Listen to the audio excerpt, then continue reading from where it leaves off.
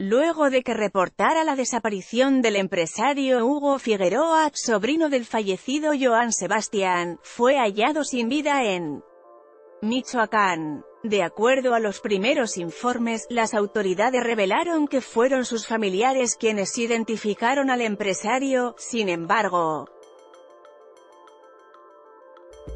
La Procuraduría General de Justicia, PGJ, de Michoacán, aún no lo ha hecho oficial, ya que necesitan seguir el respectivo proceso en la SEMEFO antes de dar alguna declaración.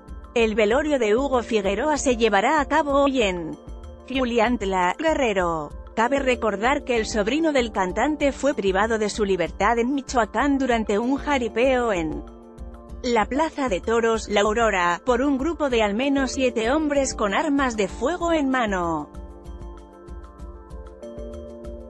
De este enfrentamiento resultó muerto Alfonso M., quien era escolta de Figueroa, además del herido Miguel Ángel C. hechos por los que la Procuraduría abrió una carpeta de investigación. Recientemente, la PGJ del Estado informó que no existía ninguna denuncia del secuestro del empresario, hasta el día de hoy que hallaron el cuerpo de la víctima.